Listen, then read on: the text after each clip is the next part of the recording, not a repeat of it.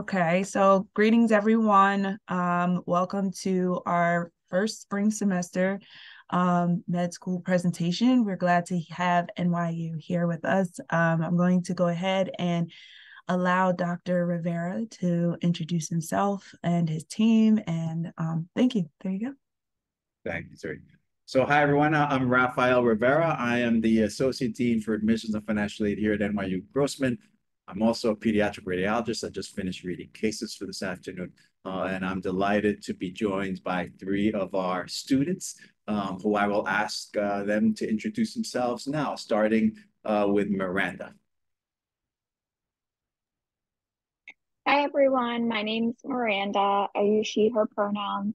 I am currently a third year medical student. I graduated from Hopkins in 2019, so it's been quite a few years since I've uh, been there, but I am post clerkships, post preclinical, and probably applying into pediatrics.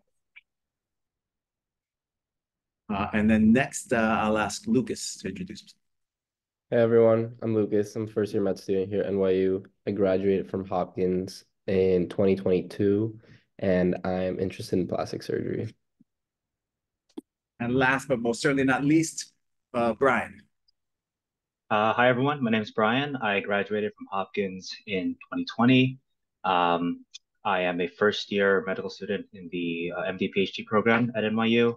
Um, and I'm interested in something neuro related. Not sure what quite yet, but in that realm. All right, thank you. So, you know, you, you've got us for about an hour. Uh, I've got some slides that I'm happy to show. It, it's basically sort of a subset of the slides that I showed to our accepted uh, students just a couple weeks ago when we had our first look event. Um, but before I, I, go into that, uh, I'm just going to ask folks. I, I, know folks like to be sort of uh, a bunch of black tiles, but I, you know, it's a little disconcerting to be speaking to a bunch of black tiles. So I would love if folks can, right, uh, turn your cameras on. Obviously, if you can't do that in a, you know, if you're in a uh, private spot or something. But you know, I, I love to do the in-person campus visits because I can see people, I can shake people's hands. Um, and so it would be nice to have some of that if people can feel that they can turn their cameras Okay. So with that said, I'm going to ask uh, Miranda, you can if you can help me coordinate our questions as they come through. But I'm just going to start real briefly with uh, just showing. Um, let's, let's go with this guy. Do this. And so, all right, uh, can folks see my slide deck okay? So I'm just going to talk a little bit about the, the school, some of the things that differentiate us maybe from other medical schools, um, starting with what our mission is, right? And, and our mission, right, uh, each year we go through thousands of applications. I think I'll show you on the next slide, to, to recruit and matriculate the, the most academically talented interpersonally gifted and broadly diverse student body to NYU Grossman, right? The student body that we believe will thrive in our culture of excellence here at NYU Grossman and at NYU Langone Health, and that we believe will go on to become the future leaders and scholars for all segments of our patient population. So that's a pretty lofty goal, uh, but we do that every year. That That's what we uh, look through applications. And last year we had over 8,400 applicants, uh, which reflected about a 1% increase from the year over last year. Uh, and that was favorable given, I think, nationally applications decreased by about two, two and a half percent uh, nationally across the country. We, we peaked in that post, that 2020, 21 COVID cycle, and then have been sort of dropping thereafter. When when students apply to us, uh, when they interview with us, as many of you uh, uh, may, you I'll chat with you all. I, will see you all on your interview day, and you'll hear me talking about this spreadsheet approach that I I believe is the best way to identify which best uh, which school is the best fit for you. I will start off by saying every U.S. medical school is a great school, right? You can't go wrong with any. You just have to identify what the best fit for you is. Um, and so what I ask folks to do is to do a little bit of, uh, you know, uh, searching of the heart, their brain, if you will, to identify what are the different parameters that are uniquely important to them and putting that down in a spreadsheet, identifying what the weighting of all those things, so you can figure out what the best fit for you is. I can go on there if people have more questions, but in the interest of time, these are the six things that I've found typically are on most people's spreadsheets. The most common thing I've seen over the last 15 years or so is the first one, right? The uh, the ranking of the school, the reputation of the school. Uh, and I'll talk briefly about that, but I will say that that is the one factor of all of these that actually has by far the least impact on your future career trajectory. And I'll talk about that uh, in, in a bit more. Geography matters to folks, right? That's um, uh, one of the top three items uh, in addition to reputation. Geography matters a lot to folks in terms of where they want to go to medical school, both from the perspective of what it has on uh, the impact it has on your medical education, the patients that you will see, things of that sort, but also where you want to be living for the next three, four, five plus years thereafter. I'll talk about that as well. And then the third uh, in the top three factors, and they vary based on the order for each individual person, but that's financial value at the bottom. And that is an area where we uh, excel significantly. I'll talk about that. And rounding out the top six, curricular options, right? Opportunities to, to tailor your education to suit your unique interests and then the strength of the clinical training and the strength of the research. Those are the six that I found to be on most people's list. And so here's how we fare on those things, right? So rankings. Um, I will say I am a huge fan of rankings um, in the sense that if there was an ideal ranking, a ranking would be um, a great way to add to an individual student's decision-making process, so long as that ranking had these four things on right? So the ranking would have to be based on data that is objective, that you can verify where the source of the data come from, verify the actual data, and had a consistent methodology year in and year out that was not subject to the whims of the publisher in this case. Two, the factors that they looked at would be relevant to consumers, in this case, students going to medical school. Three, very important, you'd be able to tailor the rankings to individualize it to suit your needs, right? I can say what the best car is. I can come up with a rankings for that, but there's no way that that best car ranking, for example, would apply to everyone. And four, very importantly, you would identify how those schools, how those parameters that you assess those schools, how that contributes to a quantifiable benefit to students. So if there was a ranking that could do all four of these things, I'd be a huge fan. But the fact of the matter is, the U.S. News and World Report ranking fails on all of these criteria. I think the U.S. News and World Report ranking is garbage. I thought that. I've said that since uh, I took on this role in 2009, 2010. I've been saying that the whole way through. I said it when we were ranked two for a couple years. It's meaningless. There is no, uh, uh, and I can talk a lot more about Weisman in this, uh, and starting here, for example, right? You could look at the subjective factors that are on it. Um, basically, you're asking people to vote for themselves. And my analogy here is uh, imagine if you were to ask burger manufacturers to rate themselves on who makes the best burger. So if I, what do you think the CEO of McDonald's is going to vote? You think they're going to say Wendy's makes a better burger than them? No. So you of ask those folks. You got to ask like the students, or ideally maybe the resident program directors. That's a little bit better. But so that's number one garbage. Two, of the selectivity metrics. I think that that has an impact uh, that I would keep in there because it does give you a sense of the academic capabilities of the incoming class. Um, but it doesn't have to be so uh, highly weighted as, as it has been in the past. Research funding, right? Am I saying research is important for medical schools? Yes, but you got to remember, at an academic medical center, we have three missions. Arguably, the one that takes most of our time is our clinical mission research mission is vitally important as well. And the third is education, right? So those are our three missions. Every academic medical center has them. But to, to rank, to, to base almost half of your ranking on the amount of research funding is inherently flawed. And I'm going to show you why in that last slide. And then the same thing for faculty numbers, right? Showcasing that if you have more faculty, that's going to give you a better experience. We all know that that's not uh, necessarily the case. And then look at what they omit, right? So there's no sense of how the school trains you academically, right? So one low-hanging fruit is how people do on their USMLE medical licensing exams. That's an important figure. For example, if you're applying a competitive residency, you want to know that you can do well. The school prepares you to do well on that area. Financial value, right? It boggles my mind that they don't include any measure of the financial aid or the value of an individual institution in terms of long-term earnings. It's incredibly simple to do that. You can ask yourself why they don't include that. And arguably, the biggest omission is the strength of their clinical training, right? Folks applying to medical school are applying because you want to be doctors, right? So why would you not include a measure of the training that occurs at an institution? Looking at multiple proxies that tell you about the training, specifically all of the outcome measures that they themselves look at in the U.S. News uh, hospital ranking system, and other entities do a much better job in, like Vizient, for example. So I have the GIGO acronym up top there because basically what this means is garbage in, garbage out. So if you look at these garbage metrics, you can't pay any attention to these rankings. And again, I've been saying this for 15 years now. And I would argue that US News and World Report would have to change all these factors and ultimately change the ranking from a research ranking to an academic ranking, recognizing that, again, we have those three clinical missions. So again, research funding, important to some extent, yes, but not 50% importance. When you look at the physician workforce, less than 1% of physicians include research as a major activity.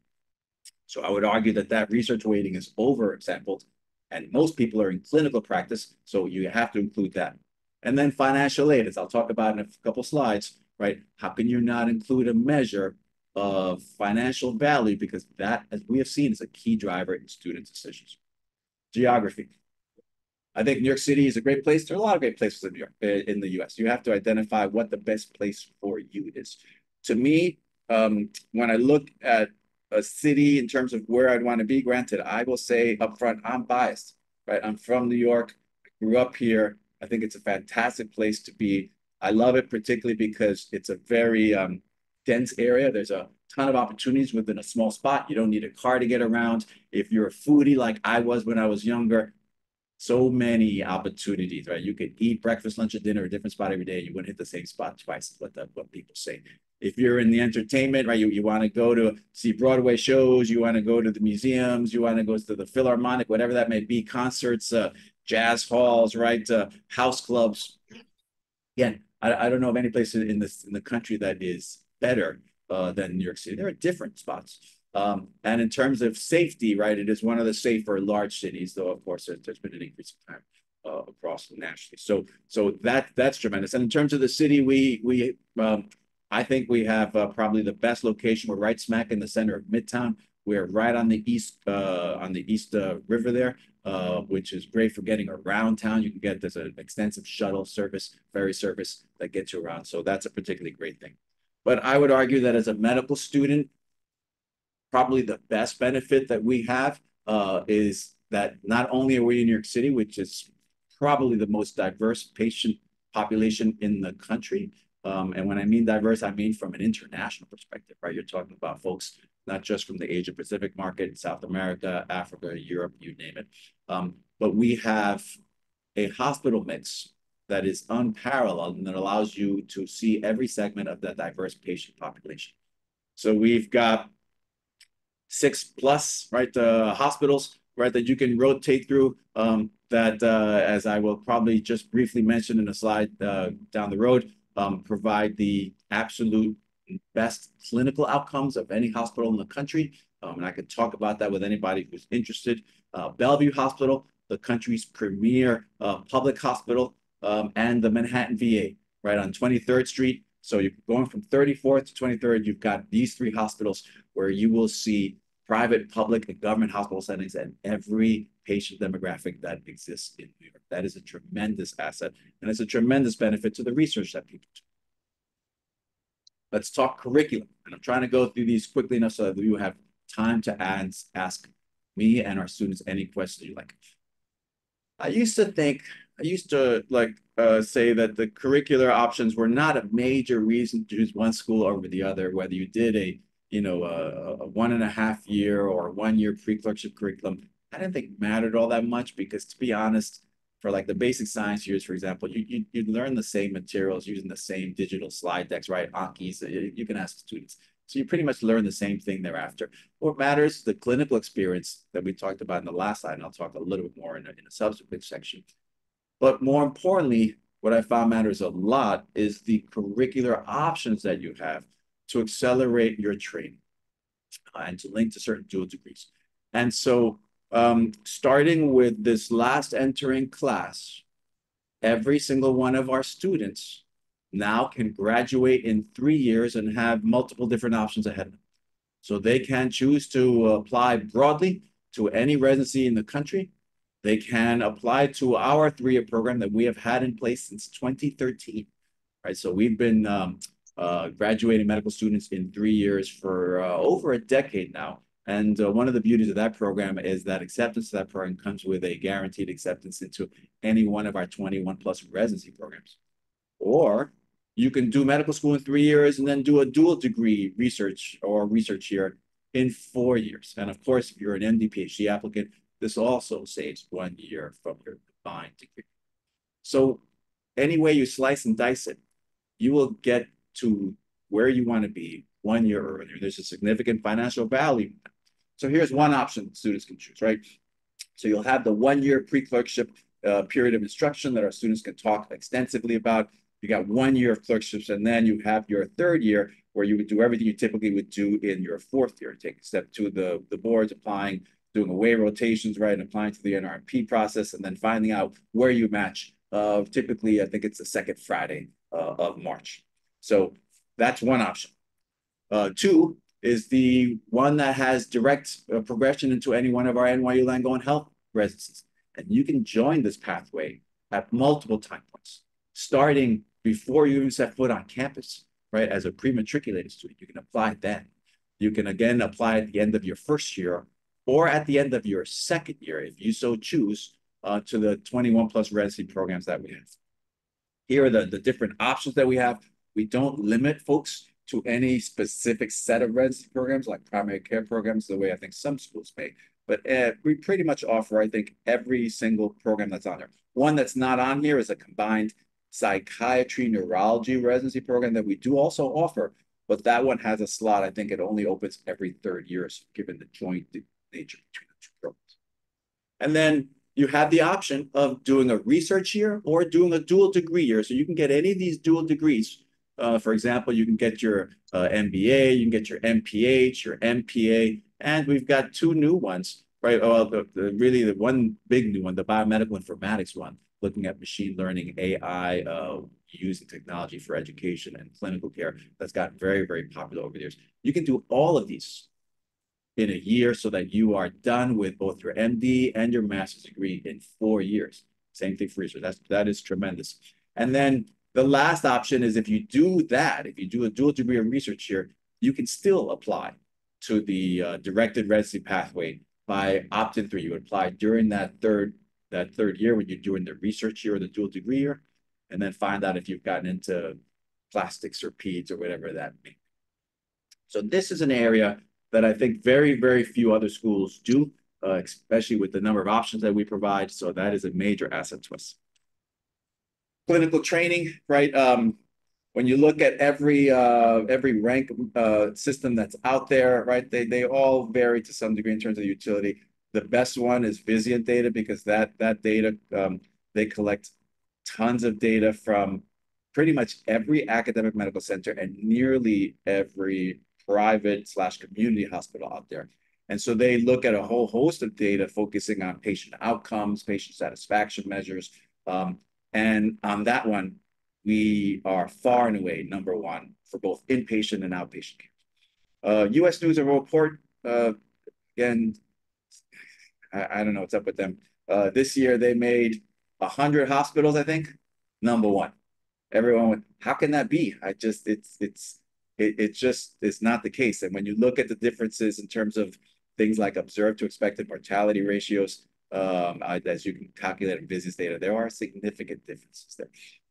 But we're also the only A-rated hospital system in New York, um, and that is across our entire inpatient and outpatient enterprise, right? So at some places they list only the mothership uh, and then give that grade. Um, but here um, we pride ourselves on providing excellent care no matter where you go to any one of our hospitals. So we don't we don't slap our name on a, on a hospital and call it a day. So for example, when we took over NYU Langone Brooklyn, right, uh, used to be called Lutheran Hospital. I was a kid growing up in Brooklyn. Um, the outcomes, uh, the care was not awesome. I can speak to that personally as, as, as a patient back then. When we took them on, Our numbers dipped in terms of the quality that we're providing based on the accumulation of their outcomes. But in three short years, with uh, you know, putting our our systems in place, having faculty from here uh, uh, basically you know, take over certain areas of the hospital, the outcomes in NYU Langone Brooklyn are the same as the mothership in New York.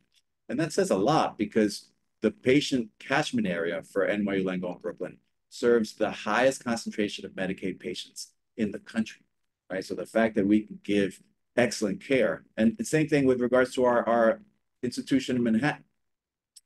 It's been widely uh, published and and publicized that um, underrepresented minority communities fared uh, much less well uh, with regards to the COVID epidemic, right? With Blacks and Hispanics dying at higher rates than non-Black or non-Hispanic patients. But not here, right? And we were together with our other New York City hospitals. We were ground zero when COVID hit us back in 2020. But despite that, we found for our patients, there was no difference in outcomes, whether you were Black, Hispanic, Asian, white, you name it, right? Um, and that's a testament to our approach to health equity, which is to ensure that there is excellence in all aspects of our training so that everyone gets the top level. So that's something I'm happy to talk a lot more about. Research opportunities. Any one of the top 10, top 20 ranked schools will provide more than enough research opportunities for an individual student to exhaust uh, during multiple lifetimes in medical school. Um, but what I will say is when you look at how productive our faculty members are, right? We may be on the smaller side from a hospital, but we are incredibly productive. In fact, we've been for several years now the most productive institution with regards to the amount of NIH uh, awards and the funding of those awards per researcher. When you look at all the medical schools, you can see our listing here. And again, the largest amount of uh, funds per PI with the smallest number of PIs, right? Showcasing how um, productive and how successful uh, the research team, the science team has been at encouraging and supporting scientists uh, in terms of their ability to conduct research and apply for those grants. And again, on any measure that you look at, the, the trajectory of the institution, these are the same things that we've seen with regards to the trajectory of our clinical mission, the trajectory of our education mission, uh, and the trajectory of the school, if you will, on those rankings anyway. So all of these things showcase how much better we've done with regards to recruiting top research faculty from across the country, getting active awards and annual submissions. All these things have increased. And again, I'm happy to talk about a lot more down the road. Financial value. I would argue nobody does this better than we do, right? In 2018, we became the first medical school to offer tuition-free scholarships to every student. Every medical student who was accepted would automatically get, at a minimum, the full cost of tuition covered with a scholarship, which roughly is about 65,000, give or take, and easily two-thirds of the cost of attendance for folks. And then in 2021, if I'm remembering correctly, we became the first school in the country to be a tuition-free and debt-free school. And what that means is, yes, everybody continues to get the tuition-free scholarships. But on top of that, if you have financial need that exceeds the cost of tuition, we will meet all of your financial need with scholarships as opposed to loans up to the full cost of attendance. And then that later that same summer, we also announced that we would cover the individual health insurance plan premiums for all of our medical students, roughly a five to seven thousand dollar value in and of itself. And yeah, New York City is an expensive place to live, um, but we thankfully subsidize our apartments to the point where I think on average, uh, our students pay somewhere around 1400 bucks a month uh, for apartments, uh, shared apartments on 26th and First. Is 1400 bucks a month a lot? Yeah, I suppose so. But compared to what people pay in New York City and Midtown, nah, not even close. Um, so with all those things, right, you know, we're we're huge data pack rats, so we we hold on to everything. And you can see that over the years, right, we we put tuition-free into effect in 2018, right? And you can see how much the uh, the the drop in dentists has been. This doesn't include the latest year because we don't have comparative data to compare to. But I will say that for the the graduating class of 23, their average debt was lower, still at about 75,000. And those numbers don't even apply to you because as a student coming through Grossman now, again, all medical school is done in three years. The average debt for our three-year graduates is somewhere around 55 to 60 thousand. And only 29% of our students have any debt, meaning 71% have zero debt. And then when you look at the distribution of our debt, right? I'm very proud of all this, right? We, we this is a, this is a great thing we, we've done. And I, I just is probably the thing I'm most proud of uh, that we've done um, together over the last uh, 15 years. You can see in 2018, before we went tuition free, the distribution uh, of, of the indebtedness of our graduating class and the, the, the size of the, the histogram bar shows you how many students uh, were having that level of debt that you can see on the side. And look at how over the years, you've seen a progressive decrease in the absolute size of those bars and then a shift upwards uh, such that nobody uh, has, you know, the excess debt you see at other schools where one out of every five private medical school graduates has over $300,000 that we don't have anywhere near. And something, I don't expect anybody to see this, uh, but if there are any finance majors in the group, all of that doesn't even touch the financial value that our students have from accelerating their education, either by way of our three-year with directed residency pathways, our three-year with national applications broadly, or even the dual degree, because in every one of those instances, you save one additional year of your life. You get into practice one additional year. And that provides you with an additional year of physician level salary under your belt that we're working with our finance team to take a look at what the net present value of that is over going to a school that's four years. So, so here we've taken away the impact of tuition free and debt free scholarships because we're comparing this, our students here who've gone to school in three years versus our students who've gone to four years. So they'll have gotten the same tuition free scholarships. The only difference here is the time to degree.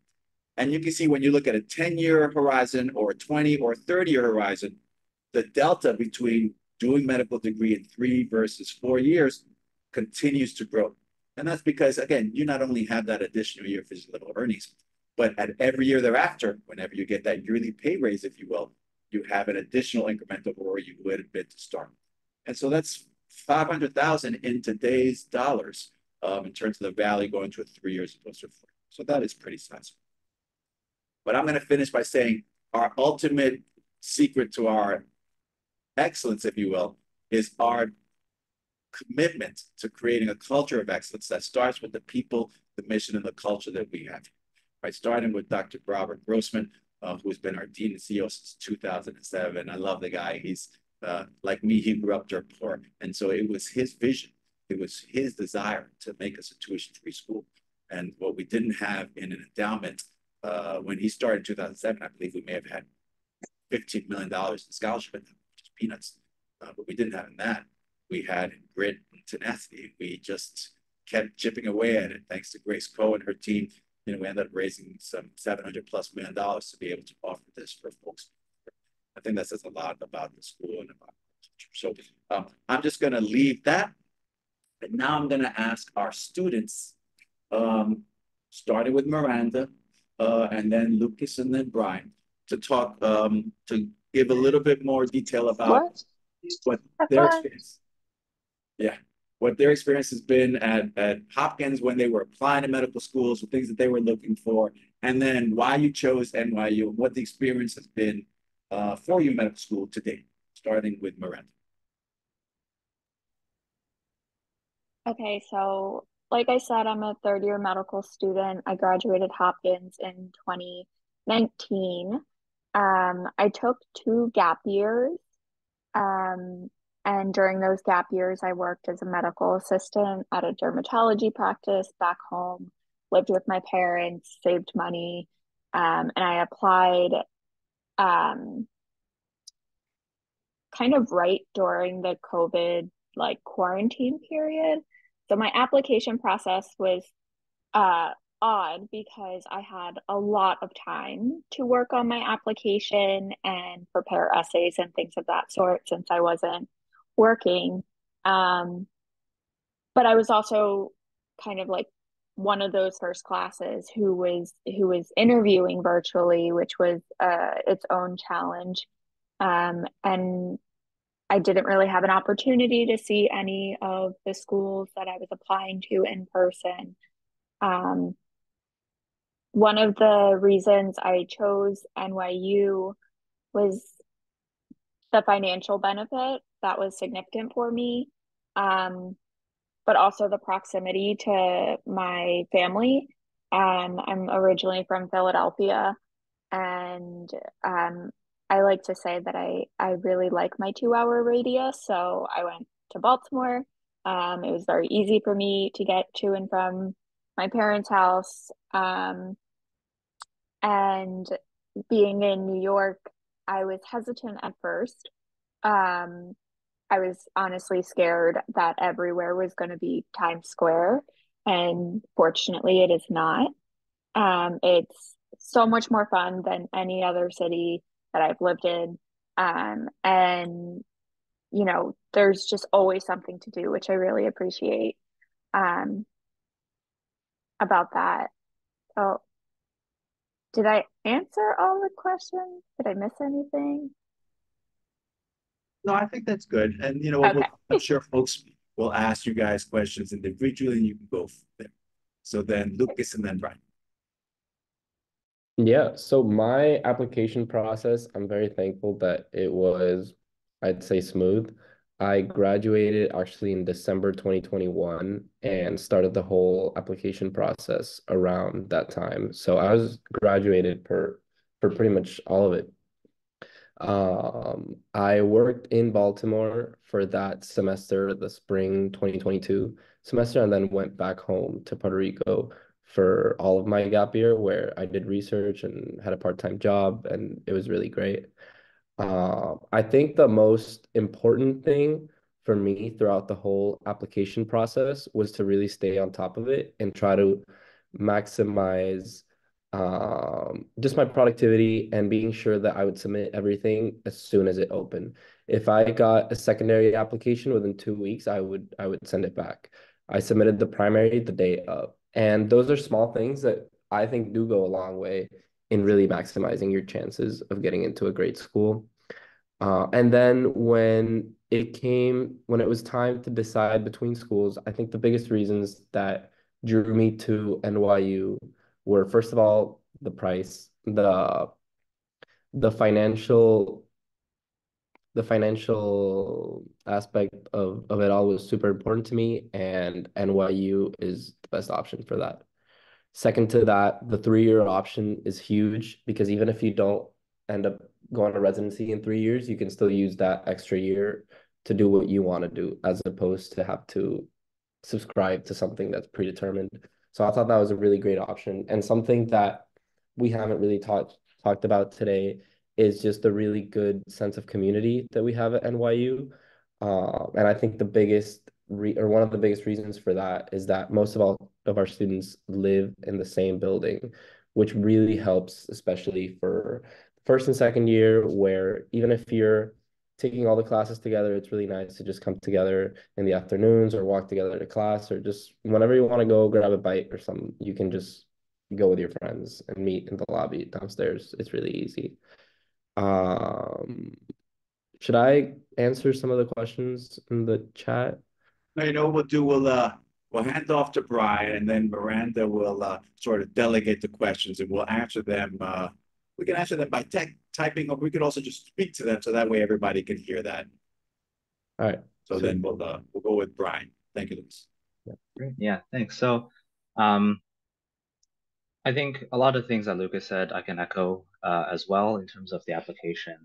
Um, it was pretty smooth, and I, I really, I actually really enjoyed writing the the secondary uh, questions for for NYU, which I didn't quite expect, but um, um, compared to some other schools, I, I did. Um, in terms of picking uh, a location to go to school, I think that was more. I was pretty high on my on my docket because um, as mentioned earlier, I'm the MSTP, so I'll be I was signing up for you know seven or eight years in one place. So it was really important for me to figure out if I like the city that uh, I would be studying at. Um, and if I'm going to be honest, uh, initially I didn't want to come to New York. Um, you know, I had grown up in suburbs my entire life, and as everyone knows, in uh, at Hopkins, in Baltimore, it's not the biggest city. There are definitely it's more on the peaceful side, uh, and I definitely enjoyed that. Um, so I was uh, kind of afraid of what the size of uh, of a place like New York would be. Um, but I can say after spending you know close to a year here now, um, it is incredibly rewarding to be able to uh, just walk out of your apartment and do stuff, I guess. Um, things aren't closed really early at night, and, and it's really easy to take a step back away from the study and from the grind uh, and, and just take a moment for yourself and your friends. Uh, and that really wasn't something uh, that, yeah, so I, I'd spent a year after graduating at Hopkins and gap year, and it, it was just a little bit more difficult to find those little nooks and pockets to to kind of escape to um, and it took a little bit more searching, but in New York, it's everywhere, right? I think that's that was an important aspect uh, that I and why I really grew to like uh, living here. Great, awesome, great perspectives. Um, and just a just a caveat, right? So the tuition free scholarships don't apply to the MSTP students because MSTP students across the country get everything covered, right? They get a full stipend, uh, they get everything covered, and they have a stipend. But uh, but still the curricular benefits uh, definitely do. And then I think one point Brian mentioned, you know, we talked about geography. Yeah, I just want to emphasize, as great as I think New York is, it's not the best fit for everybody, right? It's a good fit for a lot of people, but not everybody. So you really got to know yourself, know what sort of environment you look for, which is why that spreadsheet, right? So the, the approach that I recommend for folks is just spend, the, especially before you start applying, right? Spend about an hour or two, right? Definitely reach out to the pre-health advisors uh, at Hopkins. They are great. They will be able to, to provide you information, especially in terms of how Hopkins students fare across, but but definitely reach out to them. And then once you've done that, spend some time with yourself identifying what are all the things you could possibly be thinking of in terms of a decision and what might be important for you. I would take all those things and sort of like stream of consciousness, I put them in column A of an Excel spreadsheet. And then once those are all done, I'd go back to them and in column B, assign a weighting to all of those, recognizing that not all the things are equally important. Some things are going to be, so for somebody, geography may be very important. For somebody else, financial aid may be important, the strength of the clinical training, for example. But go through all of those things, and you may find that there are certain things that you put on the list that you're like, oh, that's not really that important, you take it off, or the things that you hadn't thought about go on there. And it's sort of like a living document. You're going to want to do that after you've gone through the MSAR and after you've met with the pre-health advisors. You can start pulling schools on there so you can score them. But as you apply and interview these schools, you learn more about, like, for example, you may learn about, you know, the difference in the culture at schools. That's very important. And so then you would score folks on that. So um, happy to talk about that uh, with anybody who has questions. But then Miranda, you uh, you have the floor. So uh, uh, take over with the questions and shoot them at us. Sure. So there were a couple logistical questions asked. Um, we, I don't, I don't know if either Lucas or Brian, if you are in a dual degree, I am not in a dual degree program. I, I don't, I think you're shaking your heads now. Um, if you're interested in hearing more about dual degree programs, um, stay tuned for any additional admissions events that are happening. If you're an admitted student, uh, there's a lot of programming that the admissions office offers. And um, those are great ways to get connected with current students. And I think that uh, speaking with a current student is the best way to go about um, really assessing a program. Um, most students who are on these calls are very open and it can feel a little stressful as an applicant to reach out to medical students and you might feel a little like uncomfortable or not sure if you should be like you know more professional but like we have no say over anything. So really like you're going to get the honest truth from all of us um and we just want you to go where you like want to go. So um that's just kind of my two cents there. Um but I responded to a question about opting into staying at NYU for residency, which was um, illustrated in Dean Rivera's presentation. So there's a few different opt-in points. You can probably find a graphic on that. Um, and I want to go to the question about how we feel about work-life balance and having time to pursue other options. I am part of a different curriculum style than our first year. So I would like to hand it off to you, Lucas and Brian, to kind of talk about how you've been um, balancing this one year preclinical. Yeah, I can take the lead on that. Honestly, it's been it's been really manageable.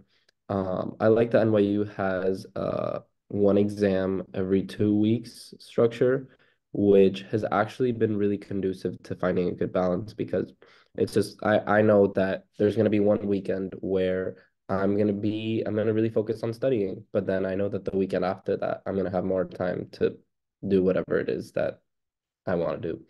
Um, and that is a pretty broad consensus amongst the people in our class and other classes that have that have done the preclinical years already. Um, and even throughout the week, I find that there is time to cook yourself meals. There's time to work out. Um, there's time for clubs in the evenings if you want to participate in that. But it is medical school, so you are going to have to find ways that you are successful in studying. Like what worked for you in college might not be what works in medical school. At least for me, it wasn't. But you get a hang of it, and you might you might have to work harder than you worked before, but you find ways to still, uh, or at least I've found ways to still work out, still try to eat healthy, still have time with friends, um, regardless of all the studying. Yeah, just to add on to what Lucas said, in terms of, I think for work-life balance, the predictability uh, is one thing that makes it really conducive and having the ability to plan around uh, your classes and your exams. So, you know, Lucas mentioned the very consistently scheduled uh, exams. I think that's great. I know a lot of my friends here who, you know, they, they've planned out weekends months in advance just because it's cheaper to get tickets that early because they know that that weekend is going to be free uh, and the exams are all, um, you know, planned out beforehand. Um, in general, I think having things like uh, online lectures and uh, things that aren't always mandatory for you to go to. It gives you a lot of freedom to study at your own pace and to uh, pull out the time of the day that you work the best and to dedicate some of those other hours to uh, some of your other hobbies. Uh, so for me, I like watching lectures like in the morning, uh, the day after. If that makes sense. Like they they have lectures. The Monday lecture I watch it on Tuesday morning, um, and that usually gives me the afternoon free to do other things, whether it's extracurriculars or going to the gym. Um, so I, I like the ability to predict your schedule in some way really takes the stress off um, on a daily basis. Yeah, and as a now post clerkship student, um, the preclinical versus clinical day to day is very different. And um, it was something that I really looked forward to. Um, I was a little fatigued of being in lectures and I was ready to start interacting with patients. And it's a very busy time. You are essentially, you know, in the hospital working and learning as much as you can, and then coming home to study um, for your shelf exams, as well as any other activities that you're involved in. Um, but it was a wonderful experience and um, it really helped solidify my interest in pediatrics and i saw significant growth in who i who i was as a person and as a professional from my first clerkship in neurology to my last in surgery um, to kind of, you know, illustrate how feasible it is during my clerkship year, um, just prior to entering my clerkship year and throughout my clerkship year, which spanned from January 2023 to October 2023. Um, I, along with other members of our LMSA chapter, the Latino Medical Student Association, put together a bid to host the 2024 Northeast Regional Conference at NYU. Um, and this required, uh, you know, creating a presentation and um, speaking with uh, not just our medical school, like medical uh, education and Office of Diversity Affairs department, but we had to connect with our you know, CEO and our um, big admin. And we were able to get support and, you know, we're now hosting that conference in just a, a couple months, which is really exciting. Um, so as one of the key members of that team to in bringing the conference to NYU, I was doing that as well as taking care of patients, studying for my exams, uh, practicing for you know standardized patient encounters and things like that. So it's certainly feasible um, to continue things that are important to you and that you're passionate about. We have a lot of questions in this chat, and I know a couple of them are more logistical um, in terms of considering financial need during applications. Um, Dean Rivera, do you want to talk about any of those or um, yeah, I could talk maybe hit on that? Uh, just so we don't, uh, we could focus on more, more the student-centric questions.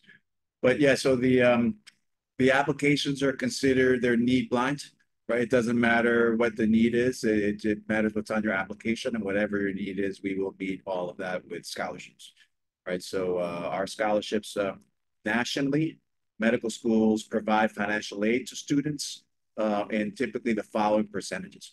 Uh, on average, they provide financial aid package. I think it's about 74% of the financial aid package is given in terms of loans. Um, and you have some 20 some odd percent that are maybe giving in scholarships and the rest are in work-study. At NYU Grossman, uh, it's about 94% of our financial aid packages are given out in scholarships uh, and about uh, 7%, 6 7% in, uh, in loans, a, a tiny amount, 4%. So that tells you a lot about that. But yeah, it's it's need blind. So um, uh, whatever the need is, we we will meet there. And then um, something else. Were there any other questions? Uh, oh, how many international students does NYU medical student meet each year? You know, um, it varies, right? That this year I think we have, I want to say, if memory serves, about nine or ten folks. But those are people we accepted, and they have all the tools. So I don't know how many of those are going to choose us at the end of the day. Um, but uh, but yes, we accept applications from international students so long as they've done their undergraduate training at a U.S. or Canadian uh, uh, undergraduate institution. Great, thank you. Um, Lucas, would you be able to share a bit more about uh, extracurriculars that you're involved in and kind of what your uh, community looks like? And then Brian, can you tell us a bit about um, any community engagement that's non-clinical service or something that um, you really liked about NYU that you discovered or something that was uh, difficult to adjust to? So, yeah, I'm involved in a couple organizations, uh, being the plastic surgery interest group, where we kind of talk to uh, physicians at NYU to schedule events so that our students can learn more about the specialty, hopefully engage, uh, whether it's getting to know residents, attendings, um, or just seeing speakers talk about what makes the specialty, uh, what the day-to-day -day of their profession is. I'm also in the Black and Latino Student Association, where we plan uh, events for both uh, students that identify as Black or Hispanic, or or just the general student body to sometimes they're just not even related to that, just to spend time together and uh, enjoy each other's company, but also organize like culturally oriented events.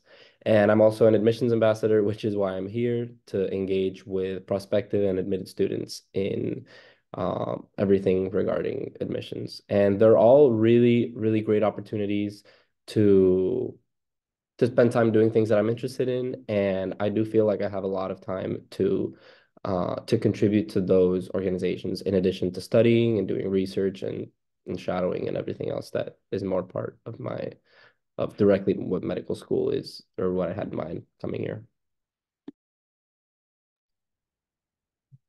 Um, so for me, I forget exactly what the split was supposed to be, but most of my extracurriculars outside of med school um, kind of centers around the research part. Um, and I wanted to jump on that really quickly just because I enjoy doing it. I know that in the MD-PhD program, we do get dedicated time to do research, but I really wanted to keep, you know, uh, my skills sharp, I guess, in in that part. Um, so I think NYU has, if you're interested in doing clinical research or basic science research, as I'm interested in, there are more ways to get um, involved than there are to, you know, do a lot of other things. It's really easy to reach out to a PI or or, or um, through many departments as well. I think the one research project I'm on, uh, I was actually shadowing uh, in the, the neurosurgery suite, and um, I talked to the, the the surgeon who then put me onto the project. And most of my work is with the resident, and he actually works with another PI down at the um, the neuroscience center over near Washington Square Park. So, you know, everyone's really connected and it's it's always very easy to find a way into these research projects, which um, I think is great for, for students starting out. Um, outside of that, uh, like Lucas, I'm a student ambassador and I'm also uh, taking part in a lot of the um, I think SOC planning for the MSTP as well, uh, and just putting together the programming to uh, learn about incoming med students and uh, to try to convince them to come to NYU. Uh, so I think anything that you're interested in is it's really easy for you to get involved and for you to make a positive impact um, for that thing. Um, so yeah. Oh, can I add one? That was great. Yeah, go ahead. Yeah, so one good way, uh, really great resource that we have, especially for first year students, uh, to really see what specialties you think you might be interested in, is we have a designated shadowing portal where you can sign up to shadow physicians in pretty much any specialty.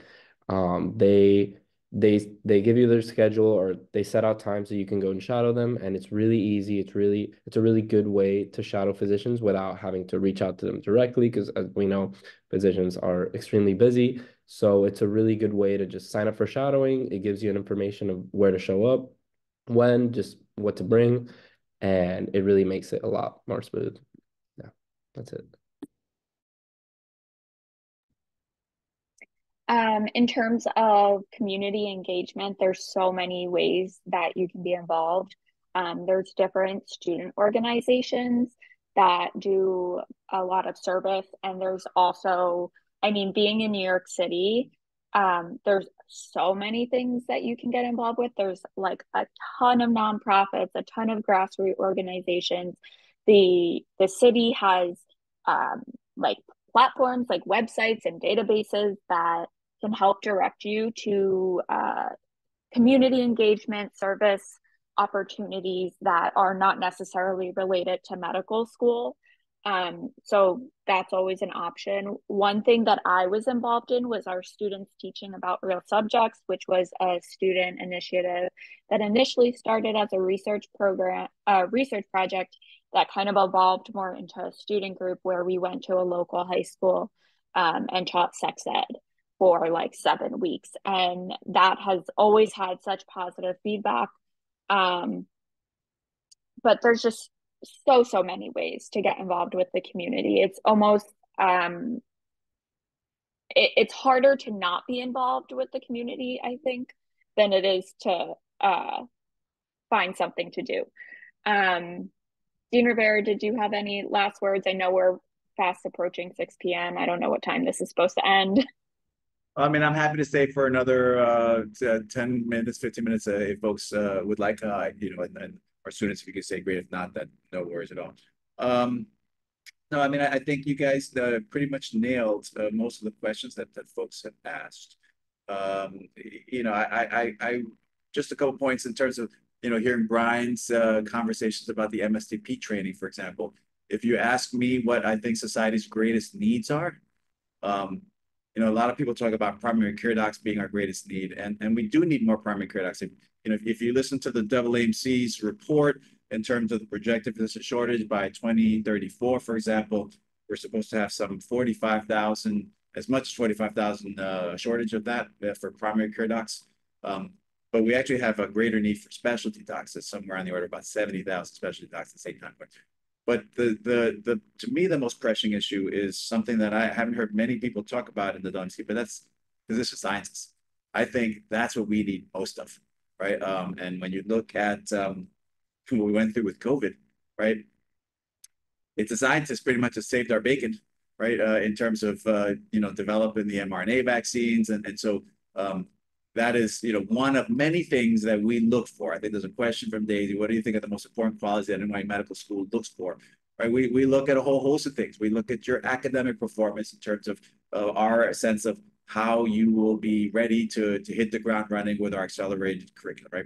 We look at your activities that you've done that, that tells us a lot about your personality traits, right? That is, I think, one of the, the key things that's in our admission secret sauce in terms of putting together the amazing classes that we have. And I, I think um, our, our students touched on the amazing culture that our students have. I, I, I mean, I, I just, I, I, I feel very proud of our students. Uh, I, I, one of my favorite things to do uh, as an educational dean is to go running with students every so often. We go on the track and we do our track workouts there, and it's just it's just amazing to hear folks' story uh, and what they're what they're capable of doing both in the hospital and out of the hospital. I think part of the reason we get such amazing students is because we look very carefully at the extracurricular activities people do and what they tell us about your personality traits, what drives you and how you want to change the world, right?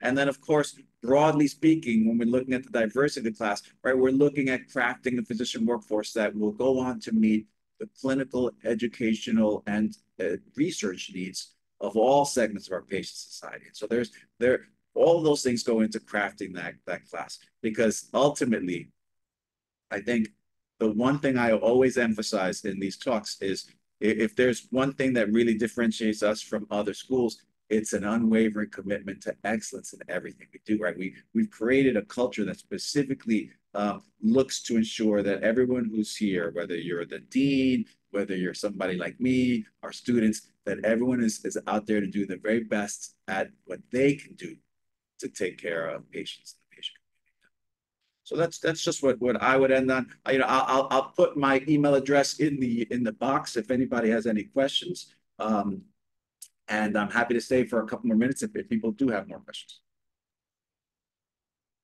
Awesome. Thank you, whole NYU team. I will see if anybody else wants to unmute themselves and ask anything.